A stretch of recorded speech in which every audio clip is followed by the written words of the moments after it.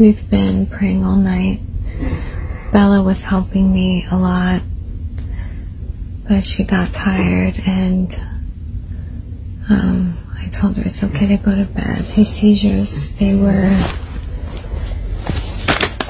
at first they were 48 minutes apart and then the first one was 48 minutes apart.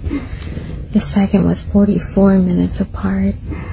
The third one was 40 minutes apart. The fifth one was 39 minutes apart. But now the sixth one came 56 minutes apart, so they're getting longer.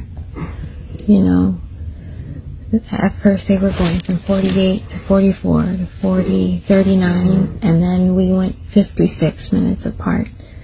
And now we're at 71 minutes apart. So it's always a pattern. I'm hoping that um, now it 71 plus 15 is what? 86.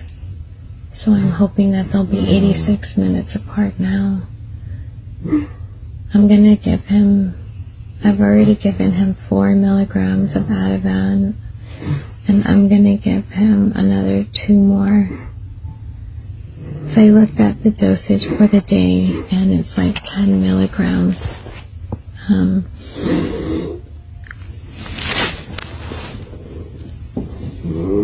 like limit for the day and um, I think the last time he was in the hospital it took five or six milligrams for them to finally stop.